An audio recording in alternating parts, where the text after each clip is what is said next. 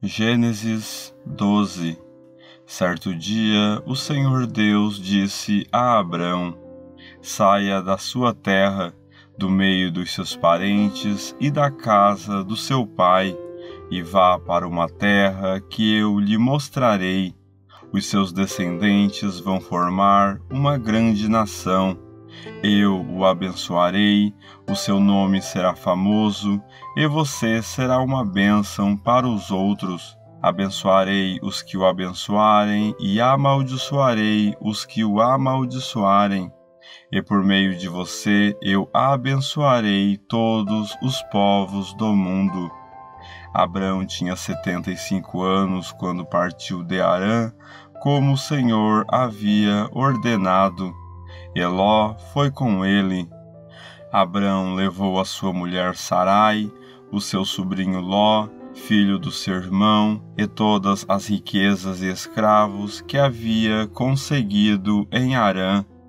Quando chegaram a Canaã, Abrão atravessou o país até que chegou a Siquém, um lugar santo, onde fica a árvore sagrada de Moré. Naquele tempo, os cananeus viviam nessa região. Ali o Senhor apareceu a Abrão e disse: Eu vou dar esta terra aos seus descendentes. Naquele lugar, Abrão construiu um altar a Deus, o Senhor, pois ali o Senhor havia aparecido a ele. Depois disso, Abrão foi para a região montanhosa que fica a leste da cidade de Betel e ali armou o seu acampamento. Betel ficava a oeste do acampamento e a cidade de Ai ficava a leste. Também nesse lugar Abrão construiu um altar e adorou o Senhor. Dali ele foi andando de um lugar para outro, sempre na direção sul da terra de Canaã. Naquele tempo houve em Canaã uma fome tão grande que Abrão foi morar por algum tempo no Egito. Quando ia chegando ao Egito, Abrão disse a Sarai, a sua mulher: Escute, você é uma mulher muito bonita, e, quando os egípcios a virem, vão dizer: Essa aí é a mulher dele. Por isso me matarão e deixarão que você viva. Diga então que você é minha irmã. Assim, por sua causa, eles me deixarão viver e me tratarão bem. Quando Abrão chegou ao Egito, os egípcios viram que Sarai, a sua mulher, era de fato muito bonita. Alguns altos funcionários do rei do Egito também a viram e contaram a ele como era linda aquela mulher. Por isso ela foi levada para o palácio do rei. Por causa dela, o rei tratou bem Abrão, ele deu ovelhas, bois, jumentos, escravos e escravas, jumentas e camelos. Mas, por causa de Sarai, o Senhor Deus castigou o rei e a sua família com doenças horríveis. Por isso, o rei mandou chamar Abrão e perguntou: por que você me fez uma coisa dessas? Por que não me disse que ela é a sua mulher? Você disse que ela era sua irmã, e por isso eu casei com ela. Portanto, aqui está a sua mulher. Saia daqui com ela. Então o rei deu ordem, e os seus guardas levaram Abrão para fora do Egito, junto com a sua mulher e com todas as coisas que eram dele. Abrão saiu do Egito com a sua mulher e com tudo o que tinha e foi para o sul de Canaã. Eló, o seu sobrinho, foi com ele.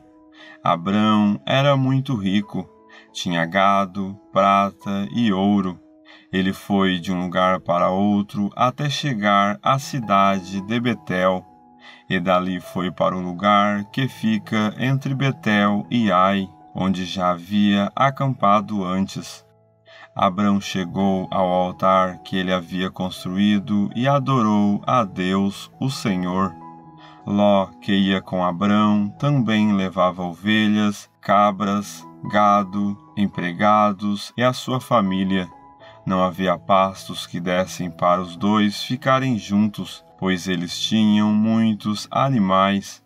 Por isso, os homens que cuidavam dos animais de Abrão brigavam com os que tomavam conta dos animais de Ló. E nesse tempo, os cananeus e os perizeus ainda estavam vivendo ali. Um dia, Abrão disse a Ló: Nós somos parentes chegados, e não é bom que a gente fique brigando, nem que os meus empregados briguem com os seus. Vamos nos separar Escolha, a terra está aí, toda ela. Se você for para a esquerda, eu irei para a direita. Se você for para a direita, eu irei para a esquerda. Ló olhou em volta e viu que o vale do Jordão, até chegar à cidade de Zoar, tinha bastante água. Era como o jardim do Senhor ou como a terra do Egito. O vale era assim antes de o Senhor haver destruído as cidades de Sodoma e de Gomorra.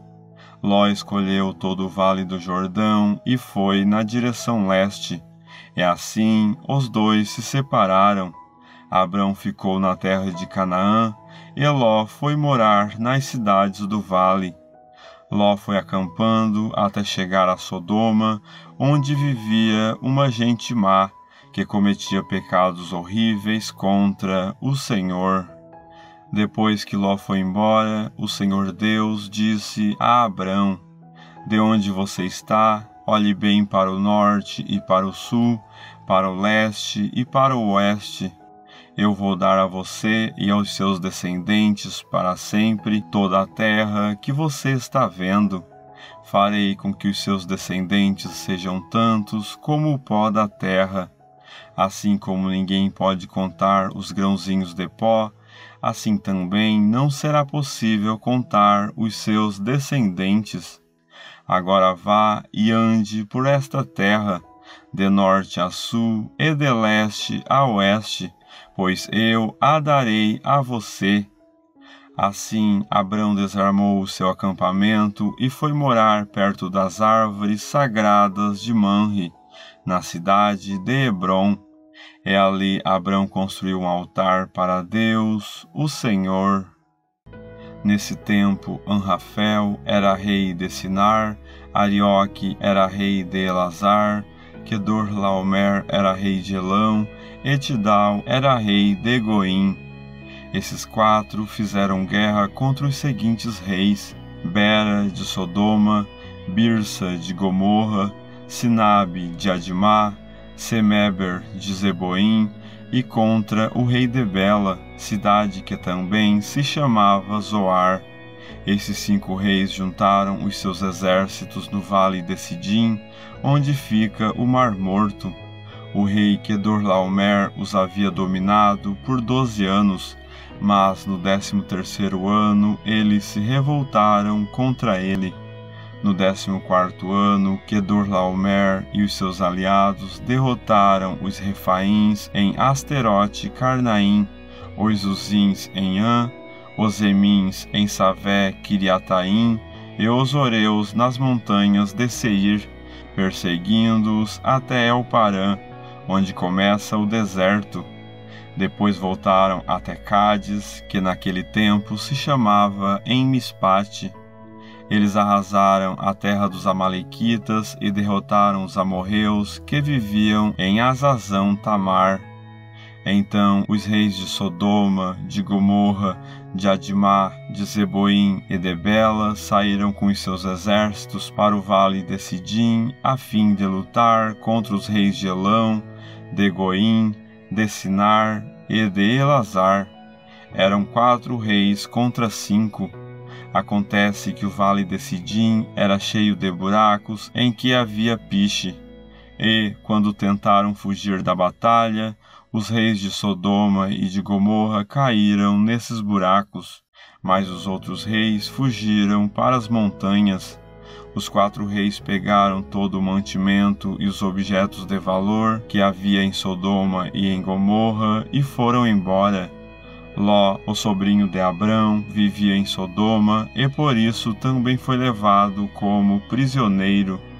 e levaram também tudo o que era dele.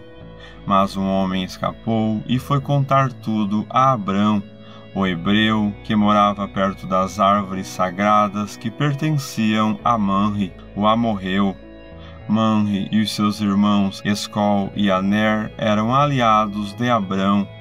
Quando Abrão ficou sabendo que o seu sobrinho tinha sido levado como prisioneiro, reuniu os seus homens treinados para a guerra, todos eles nascidos na sua casa. Eram trezentos e dezoito ao todo. Abrão foi com eles, perseguindo os quatro reis até a cidade de Dan. Ali Abrão dividiu os seus homens em dois grupos, atacou os inimigos de noite e os derrotou. Ele continuou a persegui-los até Oba, que fica ao norte da cidade de Damasco, e trouxe de volta tudo o que os inimigos haviam levado. Abrão trouxe também o seu sobrinho Ló, e tudo o que era dele, e também as suas mulheres e o resto da sua gente. Depois de haver derrotado Kedorlaomer e os outros reis, Abrão estava voltando para casa quando o rei de Sodoma foi encontrar-se com ele no vale de Savé, também chamado de Vale do Rei.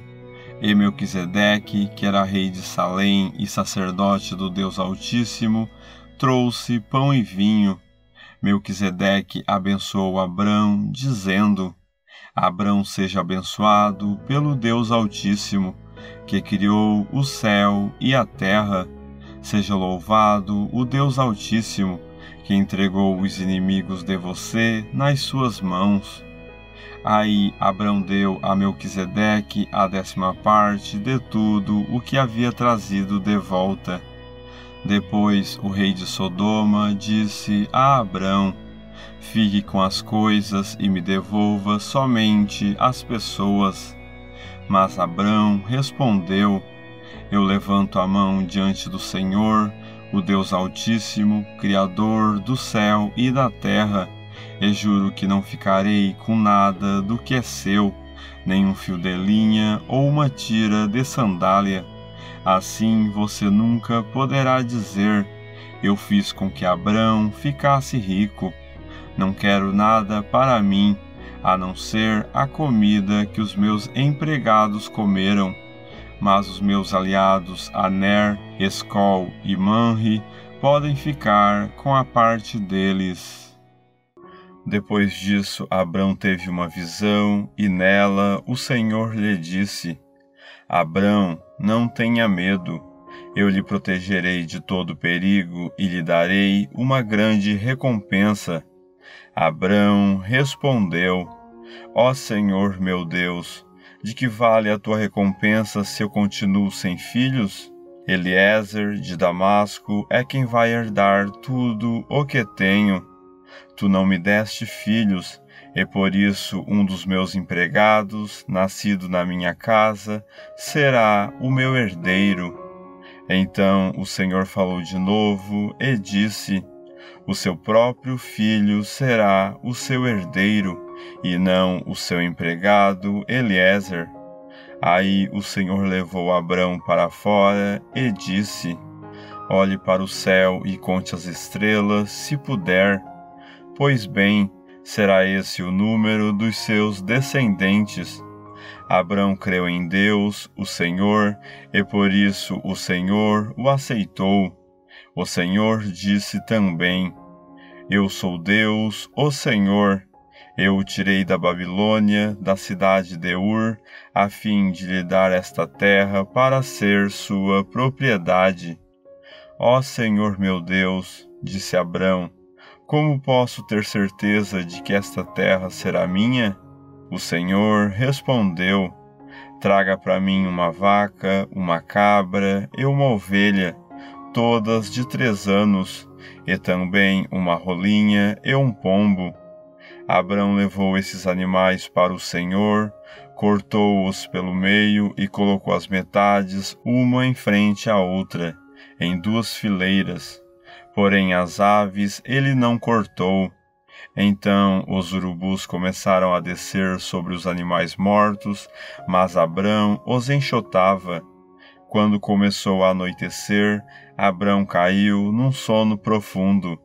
De repente ficou com medo e o pavor tomou conta dele.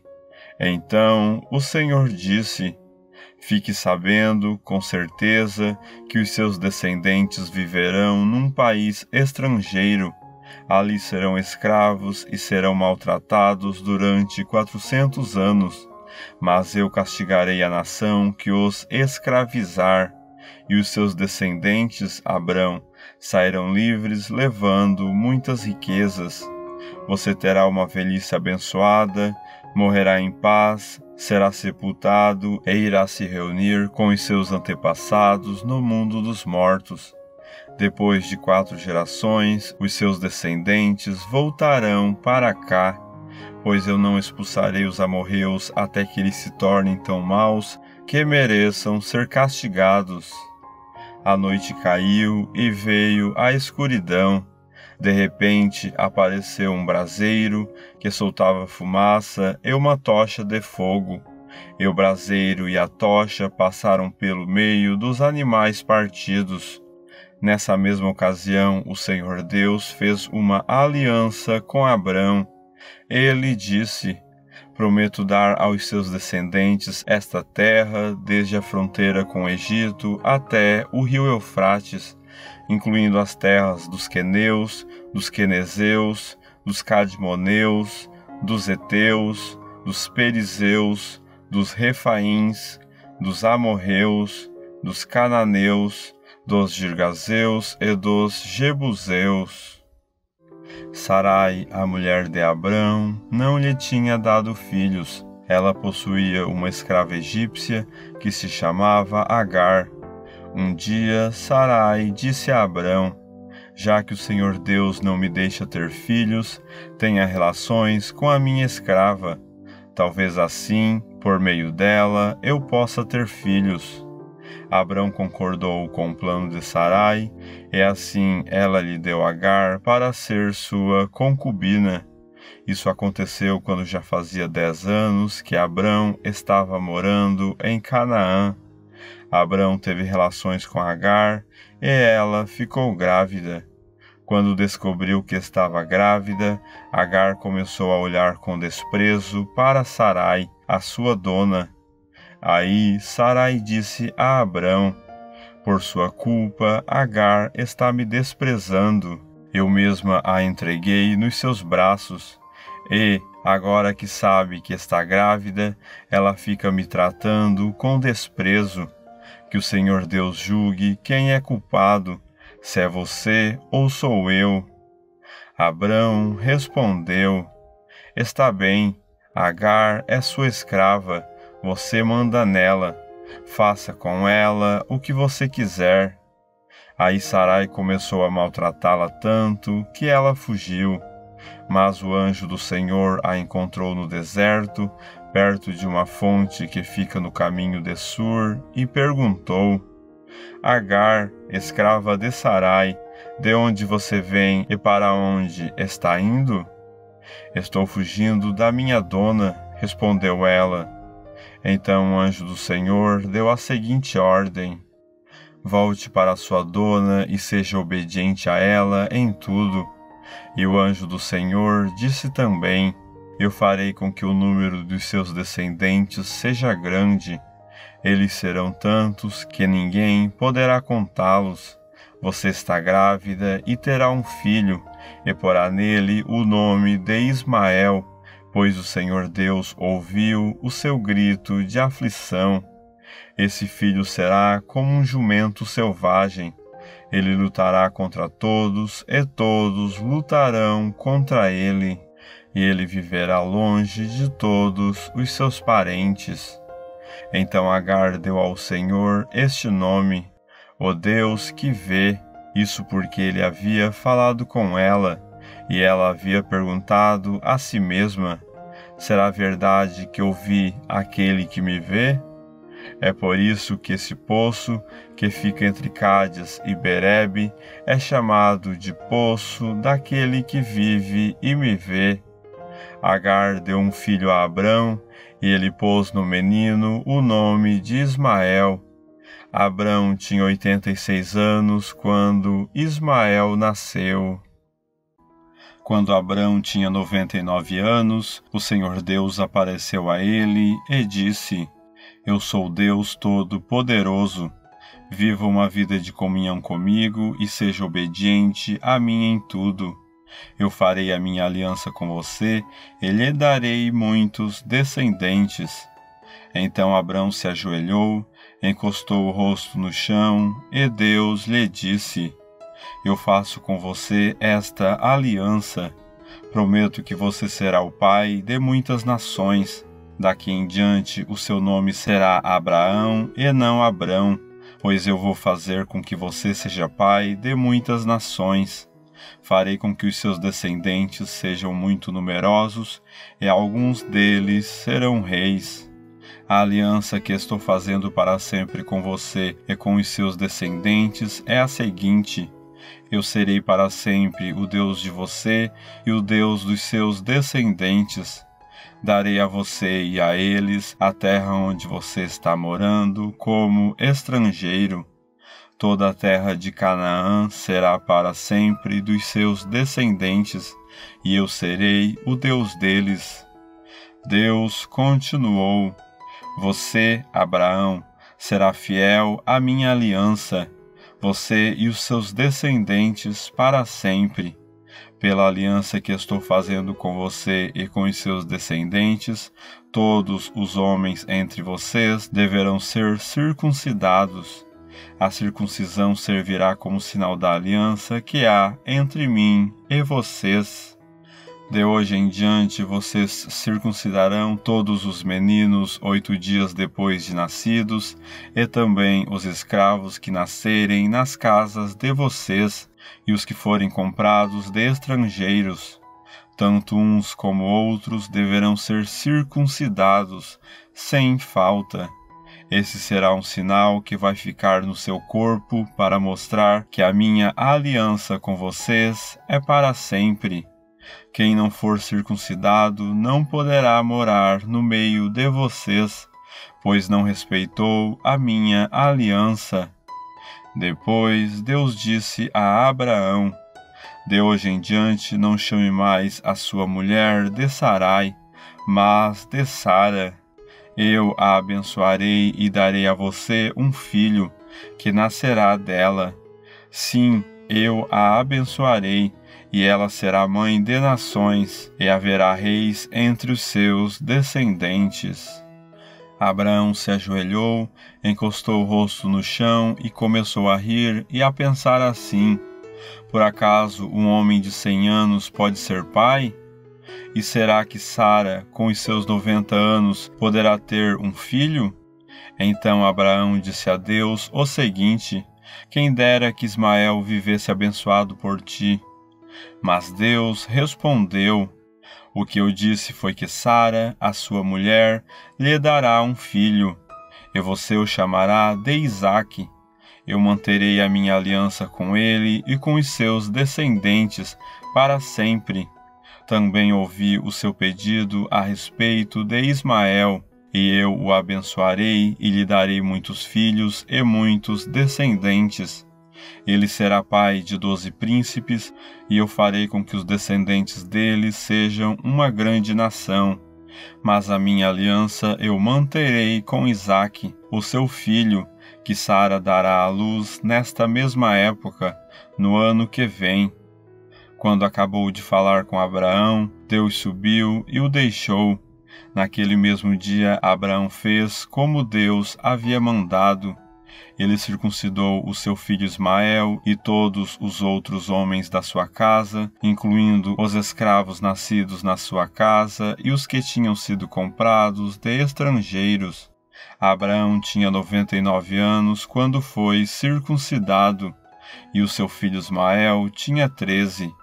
Os dois foram circuncidados no mesmo dia e foram circuncidados também todos os escravos de Abraão, tanto os nascidos na sua casa como os que tinham sido comprados de estrangeiros.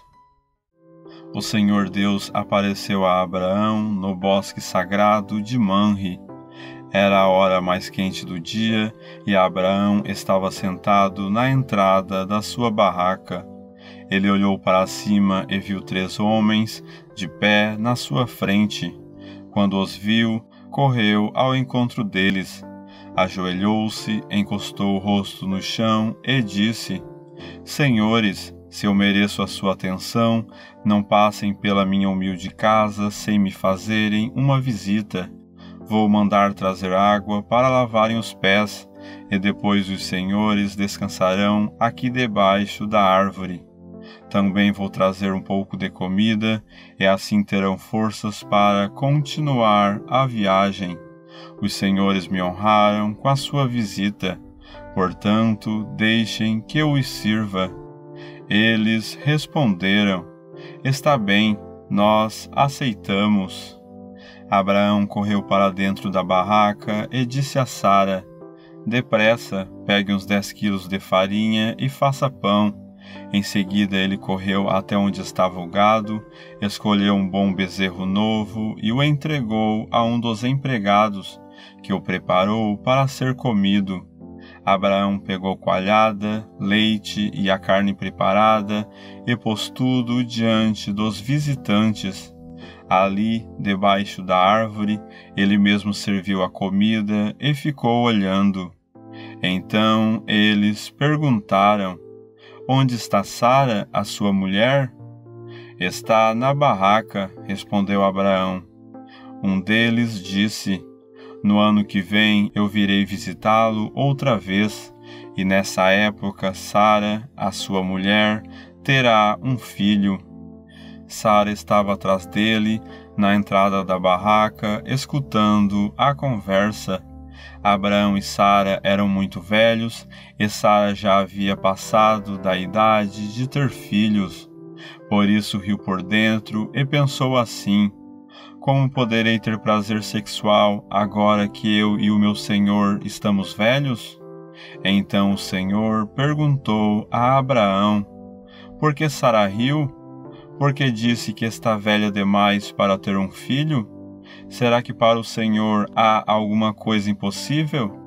Pois, como eu disse, no ano que vem virei visitá-lo outra vez, e nessa época Sara terá um filho. Ao escutar isso, Sara ficou com medo e quis negar. Eu não estava rindo, disse ela. Mas o Senhor respondeu: Não é verdade você riu mesmo. Depois os visitantes se levantaram e foram para um lugar de onde podiam ver a cidade de Sodoma. E Abraão os acompanhou para lhes mostrar o caminho. Aí o Senhor Deus disse a si mesmo: Não vou esconder de Abraão o que pretendo fazer os seus descendentes se tornarão uma nação grande e poderosa, e por meio dele eu abençoarei todas as nações da terra. Eu o escolhi para que ele mande que os seus filhos e os seus descendentes obedeçam aos meus ensinamentos e façam o que é correto e justo. Se eles obedecerem, farei por Abraão tudo o que prometi Aí o Senhor disse a Abraão: Há terríveis acusações contra Sodoma e Gomorra, e o pecado dos seus moradores é muito grave. Preciso descer até lá para ver se as acusações que tenho ouvido são verdadeiras ou não. Então dois dos visitantes saíram, indo na direção de Sodoma. Porém, Abraão ficou ali com Deus, o Senhor, Abraão chegou um pouco mais perto e perguntou: Será que vais destruir os bons junto com os maus? Talvez haja cinquenta pessoas direitas na cidade. Nesse caso, vais destruir a cidade? Será que não a perdoarias por amor aos cinquenta bons? Não é possível que mates os bons junto com os maus, como se todos tivessem cometido os mesmos pecados. Não faças isso. Tu és o juiz do mundo inteiro e por isso agirás com justiça. O Senhor Deus respondeu: Se eu achar cinquenta pessoas direitas em Sodoma, perdoarei a cidade inteira por causa delas. Abraão voltou a dizer: Perdoa o meu atrevimento de continuar falando contigo, pois tu és o Senhor e eu sou um simples mortal. Pode acontecer que haja apenas quarenta e cinco pessoas direitas Destruirás a cidade por causa dessa diferença de cinco? Deus respondeu: Se eu achar quarenta e cinco, não destruirei a cidade. Abraão continuou: E se houver somente quarenta bons? Por amor a esses quarenta, não destruirei a cidade. Deus respondeu. Abraão disse: Não fiques zangado comigo, Senhor por eu continuar a falar. E se houver só trinta? Deus respondeu: Se houver trinta, eu perdoarei a cidade.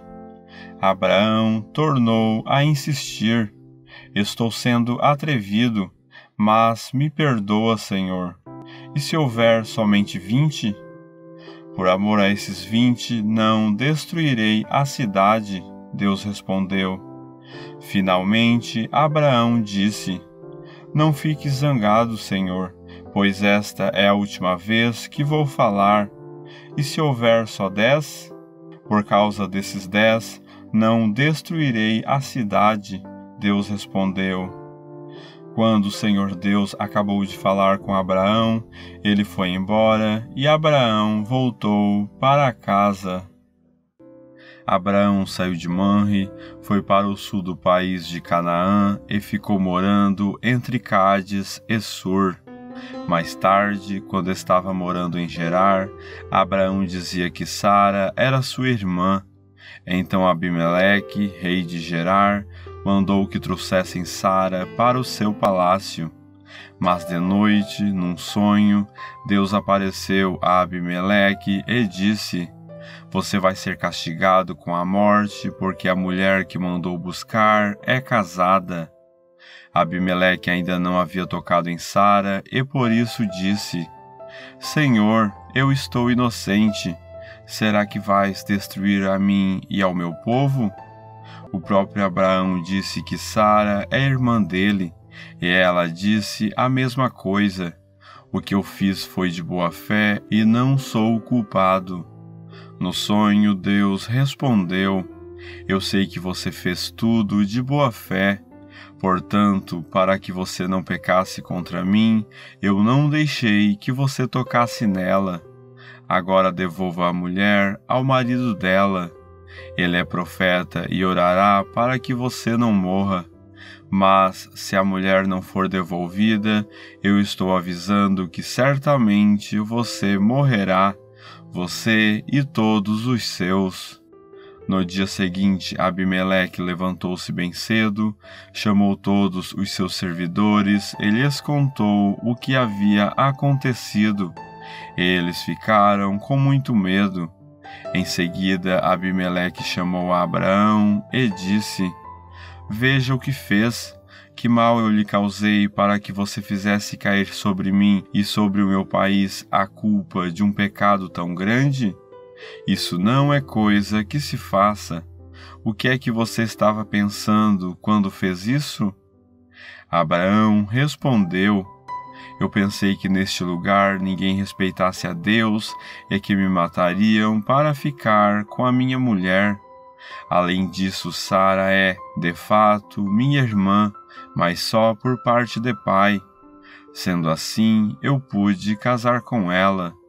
Quando Deus me tirou da casa do meu pai e me fez andar por terras estrangeiras, eu disse a Sara: Em todo lugar aonde formos, faça-me o favor de dizer que sou seu irmão. Então Abimeleque devolveu Sara a Abraão. Além disso, lhe deu ovelhas, bois, escravos e escravas, e disse: Olhe, Abraão, aí estão as minhas terras, more onde quiser. E Abimeleque disse a Sara o seguinte: Estou dando ao seu irmão onze quilos e meio de prata para que os que estão com você saibam que você está inocente. Assim todos saberão que você não fez nada de errado. Por causa do que tinha acontecido com Sara, a mulher de Abraão, o Senhor Deus havia feito com que nenhuma das mulheres do palácio de Abimeleque pudesse ter filhos. Aí Abraão orou em favor de Abimeleque, e Deus o curou. E também curou a mulher dele e as suas escravas, e assim puderam ter filhos novamente. De acordo com a sua promessa, o Senhor Deus abençoou Sara. Ela ficou grávida e, na velhice de Abraão, lhe deu um filho. O menino nasceu no tempo que Deus havia marcado, e Abraão pôs nele o nome de Isaque. Quando Isaque tinha oito dias, Abraão o circuncidou, como Deus havia mandado. Quando Isaque nasceu, Abraão tinha cem anos. Então Sara disse: Deus me deu motivo para rir, e todos os que ouvirem essa história vão rir comigo. E disse também: Quem diria a Abraão que Sara daria de mamar? No entanto, apesar de ele estar velho, eu lhe dei um filho.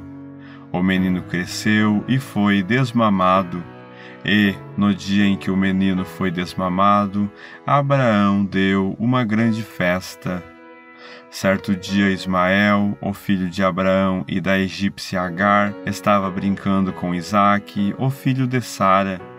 Quando Sara viu isso, disse a Abraão: Mande embora essa escrava e o filho dela, pois o filho dessa escrava não será herdeiro junto com Isaque, o meu filho.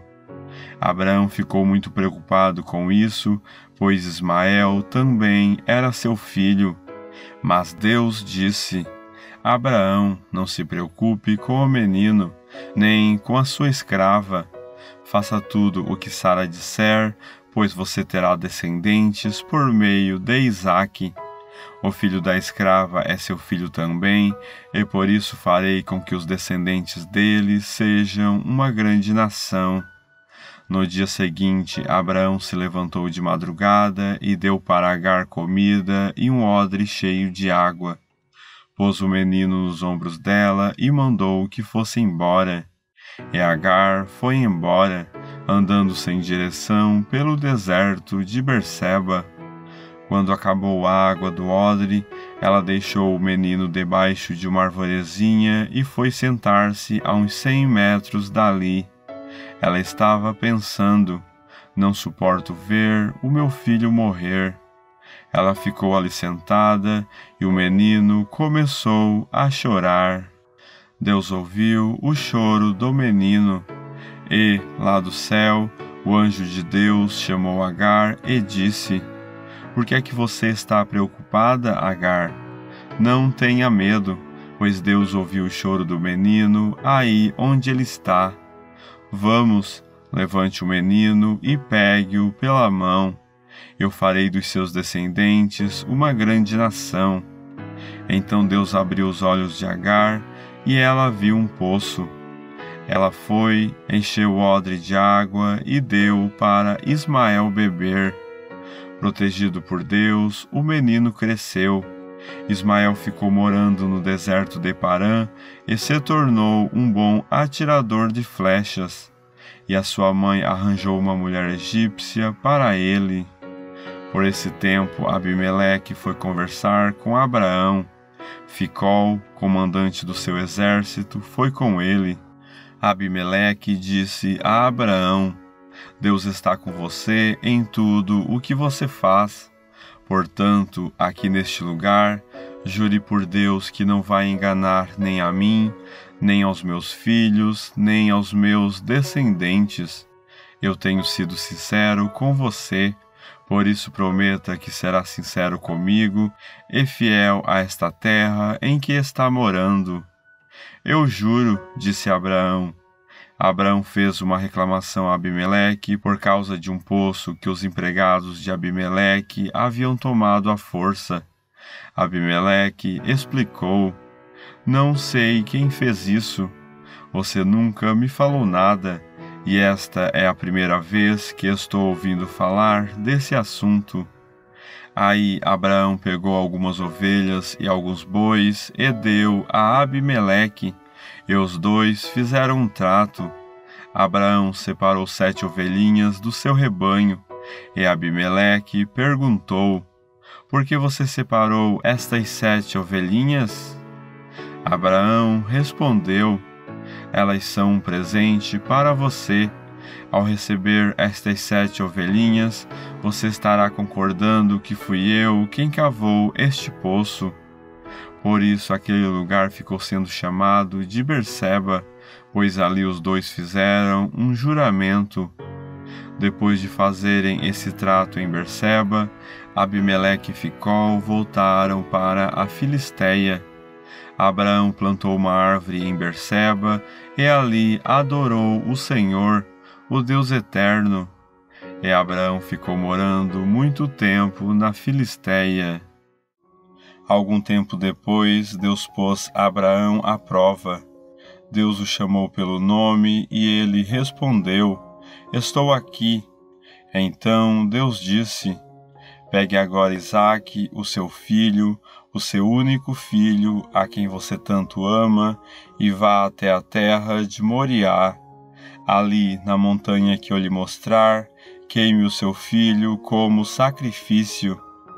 No dia seguinte, Abraão se levantou de madrugada, arreou o seu jumento, cortou lenha para o sacrifício e saiu para o lugar que Deus havia indicado.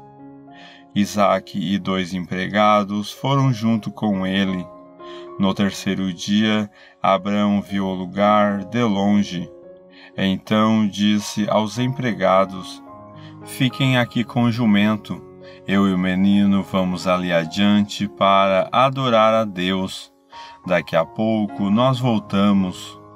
Abraão pegou a lenha para o sacrifício e pôs nos ombros de Isaque. Pegou uma faca e fogo, e os dois foram andando juntos. Daí a pouco o menino disse: Pai, Abraão respondeu: Que foi, meu filho?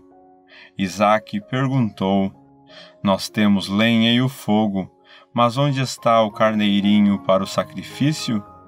Abraão respondeu: Deus dará o que for preciso. Ele vai arranjar um carneirinho para o sacrifício, meu filho. E continuaram a caminhar juntos. Quando chegaram ao lugar que Deus havia indicado, Abraão fez um altar e arrumou a lenha em cima dele. Depois amarrou Isaque e o colocou sobre o altar, em cima da lenha. Em seguida pegou a faca para matá-lo. Mas, nesse instante, lá do céu, o anjo do Senhor o chamou, dizendo: Abraão, Abraão. Estou aqui, respondeu ele. O anjo disse: Não machuque o menino e não lhe faça nenhum mal. Agora sei que você teme a Deus, pois não negou o seu filho, o seu único filho. Abraão olhou em volta e viu um carneiro preso pelos chifres, no meio de uma moita. Abraão foi, pegou o carneiro e o ofereceu como sacrifício em lugar do seu filho. Abraão pôs naquele lugar o nome de O Senhor Deus dará o que for preciso. É por isso que até hoje o povo diz: Na sua montanha o Senhor Deus dá o que é preciso. Mais uma vez o anjo do Senhor, lá do céu, chamou Abraão e disse: porque você fez isso e não me negou o seu filho, o seu único filho, eu juro pelo meu próprio nome, diz Deus, o Senhor, que abençoarei você ricamente. Farei com que os seus descendentes sejam tão numerosos como as estrelas do céu, ou os grãos de areia da praia do mar, e eles vencerão os inimigos por meio dos seus descendentes, eu abençoarei todas as nações do mundo, pois você fez o que eu mandei. Abraão voltou para o lugar onde estavam os seus empregados e foram todos juntos para Berseba, onde Abraão ficou morando. Algum tempo depois, Abraão recebeu a notícia de que Naor, o seu irmão, tinha oito filhos, nascidos de Milca, a sua mulher. O primeiro que nasceu foi Uz. Depois vieram os seus irmãos Bus e Quemuel, que foi o pai de Arã. Depois nasceram Quezede, Azo, Pildas, Gidlaf e Betuel. Este Betuel foi o pai de Rebeca. São esses os oito filhos que Milca deu a Naor, o irmão de Abraão. Reuma, a concubina de Naor, lhe deu os seguintes filhos: Teba, Gaã, Taás e Maacá. Sara viveu cento e vinte e sete anos. Ela morreu na cidade de Hebron, também chamada Kiriat Arba, na terra de Canaã e Abraão chorou a sua morte. Depois saiu do lugar onde estava o corpo e foi falar com os heteus. Ele disse: Eu sou um estrangeiro que mora no meio de vocês. Portanto, me vendam um pedaço de terra para que eu possa sepultar a minha mulher. Os heteus responderam: Escute, Senhor. O Senhor é para nós um chefe poderoso. Sepulte a sua mulher na melhor sepultura que tivermos. Nenhum de nós se negará a dar-lhe a sua sepultura. Aí Abraão se levantou, se curvou diante dos heteus e disse: Se vocês querem que eu sepulte a minha mulher aqui, por favor, peçam a Efron, filho de Zoar, que me venda a caverna de Macpela, que fica na divisa das suas terras eu pagarei o preço total e assim serei dono de uma sepultura neste lugar. Efron estava sentado ali entre eles, no lugar de reunião, perto do portão da cidade. Ele falou em voz alta para que todos pudessem escutar. De jeito nenhum, meu senhor. Escute, eu lhe dou o terreno de presente e também a caverna que fica nele. A minha gente é testemunha de que eu estou lhe dando o terreno de presente, para que o Senhor possa sepultar a sua mulher. Mas Abraão tornou a se curvar diante dos heteus e disse a Efron, de modo que todos pudessem ouvir: Escute, por favor, eu quero comprar o terreno diga qual é o preço que eu pago, e depois sepultarei a minha mulher ali. Efron respondeu: Escute, meu senhor, o terreno vale quatrocentas barras de prata. O que é isso entre nós dois? Vai e sepulte ali a sua mulher. Abraão concordou e pesou a quantidade de prata que Efron havia sugerido diante de todos isto é, quatrocentos quilos e meio, de acordo com o peso comum usado pelos negociantes.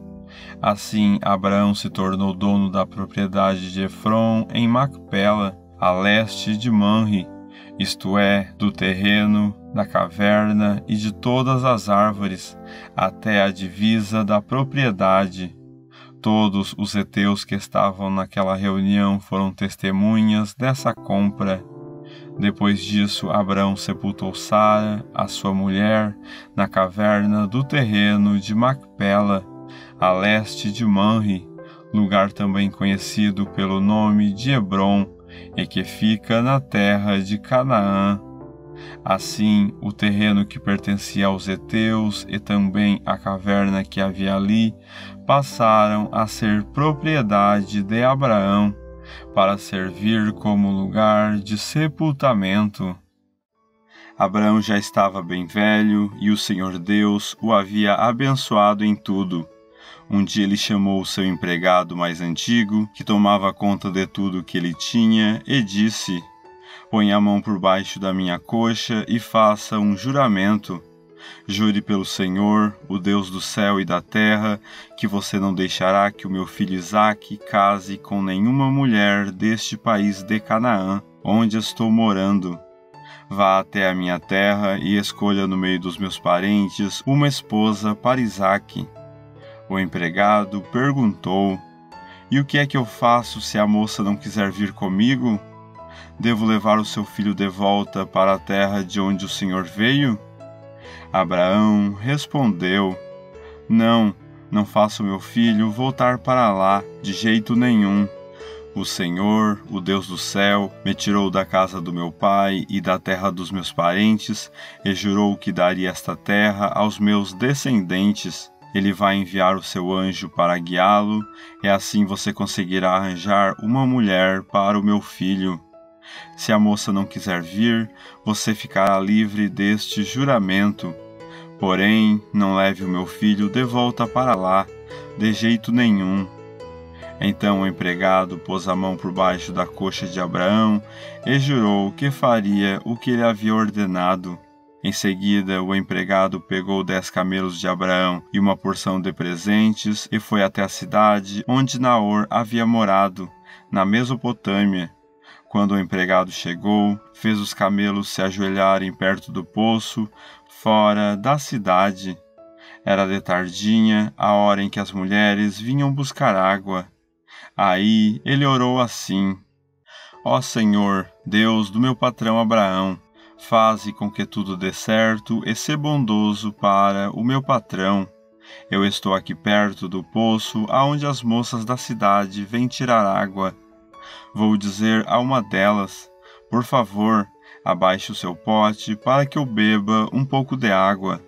Se ela disser assim: Beba, e eu vou dar água também para os seus camelos, que seja essa moça que escolheste para o teu servo Isaque.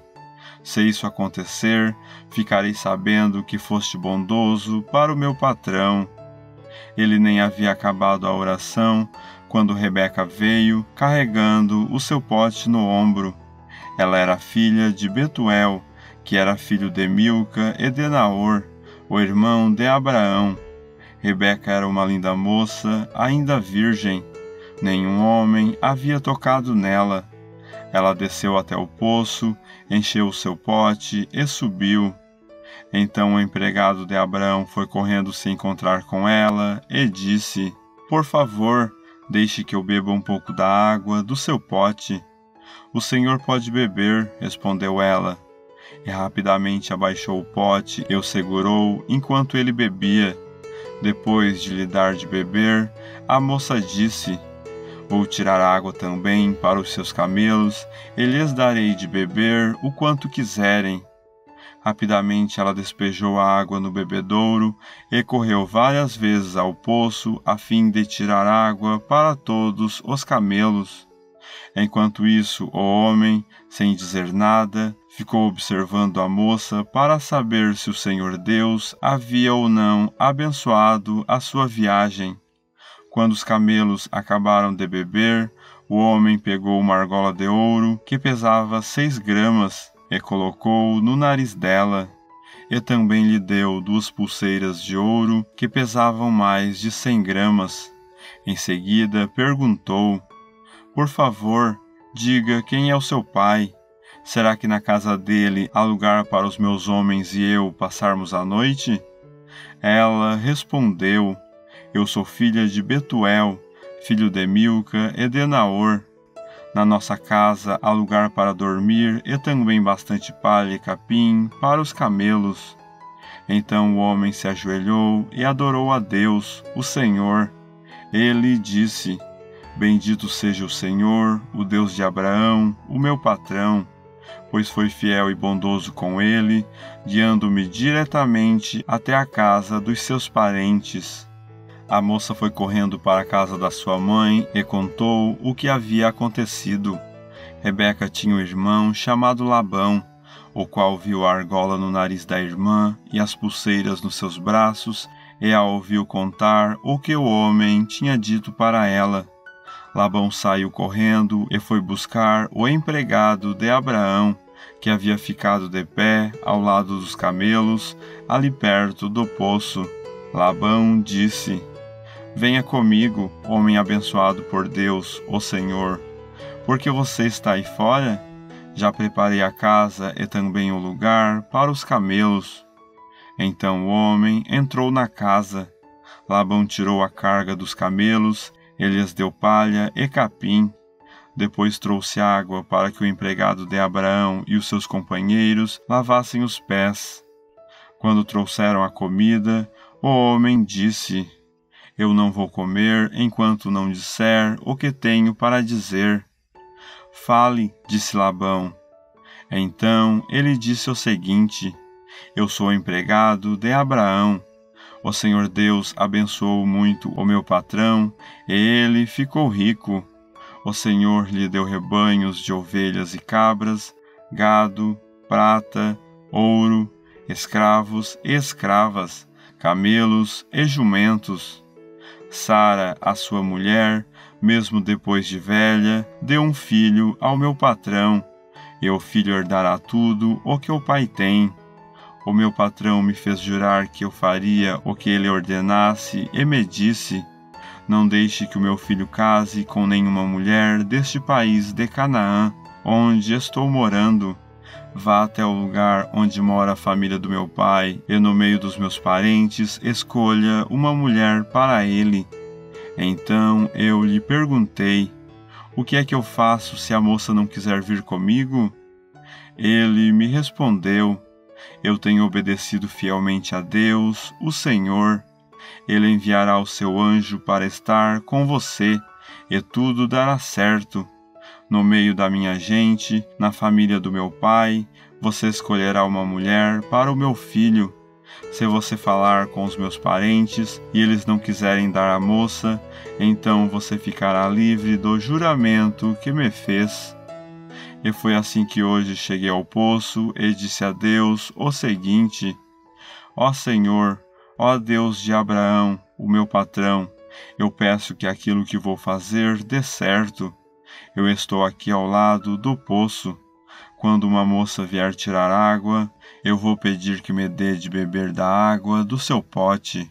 Se ela concordar e também se oferecer para tirar água para os meus camelos, que seja essa a que escolheste para ser mulher do filho do meu patrão. Eu nem havia acabado de fazer essa oração em silêncio quando Rebeca veio com um pote no ombro, desceu até o poço e tirou água. Aí eu disse: Dê-me um pouco de água, por favor. Ela abaixou depressa o seu pote e disse: Pode beber, eu vou dar de beber também aos seus camelos. Então eu bebi, e ela deu água também aos camelos. Em seguida, perguntei: Quem é o seu pai? Ela respondeu: Eu sou filha de Betuel, filho de Milca e de Naor. Então coloquei uma argola no nariz dela e duas pulseiras nos seus braços. Eu me ajoelhei e adorei a Deus, e louvei o Senhor, o Deus de Abraão, o meu patrão, que me guiou diretamente aos seus parentes, a fim de que eu levasse a filha do irmão do meu patrão para o seu filho. Agora digam se vocês vão ser bondosos e sinceros com o meu patrão. Se não, digam também para que eu resolva o que fazer. Labão e Betuel responderam: Tudo isso vem de Deus, o Senhor, e por isso não podemos dizer nada, nem a favor nem contra Aqui está Rebeca, leve-a com você, que ela seja a mulher do filho do seu patrão, como o Senhor Deus já disse. Quando o empregado de Abraão ouviu essas palavras, ajoelhou-se, encostou o rosto no chão e adorou a Deus, o Senhor. Em seguida, pegou vários objetos de prata e de ouro e vestidos e os deu a Rebeca e também deu presentes caros ao irmão e à mãe dela. Então ele e os seus companheiros comeram e beberam e passaram a noite ali. No outro dia de manhã, quando se levantaram, o empregado disse: Deixem que eu volte para a casa do meu patrão. Mas o irmão e a mãe de Rebeca disseram: É melhor que ela fique com a gente alguns dias, talvez uns dez, e depois poderá ir. Mas o empregado respondeu: Não me façam ficar aqui. O Senhor Deus fez com que a minha viagem desse certo. Deixem que eu volte para a casa do meu patrão. Então eles disseram: Vamos chamar Rebeca para ver o que ela diz. Eles chamaram a moça e lhe perguntaram: Você quer ir com este homem? Quero, respondeu ela. Aí deixaram que Rebeca e a mulher que havia sido sua babá fosse com o empregado de Abraão e os seus companheiros, e abençoaram Rebeca, dizendo: Que você, nossa irmã, seja mãe de milhões, que os seus descendentes conquistem as cidades dos seus inimigos. Então Rebeca e as suas empregadas se prepararam, montaram os camelos e seguiram o empregado de Abraão. E assim eles foram embora. Isaac tinha vindo ao deserto onde ficava o poço daquele que vive e me vê, pois morava no sul de Canaã. Ele havia saído à tardinha para dar um passeio pelo campo, quando viu que vinham vindo camelos. Rebeca também olhou e, quando viu Isaac, desceu do camelo e perguntou ao empregado: Quem é aquele homem que vem andando pelo campo na nossa direção? É o meu patrão, respondeu ele. Aí ela pegou o véu e cobriu o rosto. O empregado contou a Isaac tudo o que havia feito. Então Isaac levou Rebeca para a barraca onde Sara, a sua mãe, havia morado, e ela se tornou a sua mulher. Isaac amou Rebeca e assim foi consolado depois da morte da sua mãe. Abraão casou com outra mulher que se chamava Quetura, e ela lhe deu os seguintes filhos: Zinrã, Joxã, Medã, Midian, Isbaque e Sua. Joxã foi o pai de Seba e de Dedã. Os descendentes de Dedã foram os Assureus, os Letuseus e os Leumeus. Os filhos de Midian foram Efa, Éfer, Enoque, Abida e Elda. Todos esses foram descendentes de Quetura. Abraão deixou tudo o que tinha para Isaque, mas deu presentes para os filhos das suas concubinas. E, antes de morrer, separou-os de Isaque e mandou que fossem morar na terra do Oriente. Abraão viveu cento e setenta e cinco anos. Ele morreu bem velho e foi reunir-se com os seus antepassados no mundo dos mortos. Os seus filhos Isaque e Ismael o sepultaram na caverna de Macpela, que fica a leste de Manre, no campo de Efron, que era filho de Zoar, o Eteu, este era o campo que Abraão havia comprado dos heteus. Abraão e Sara foram sepultados ali. Depois da morte de Abraão, Deus abençoou Isaque, o filho dele, que morava perto do poço daquele que vive e me vê.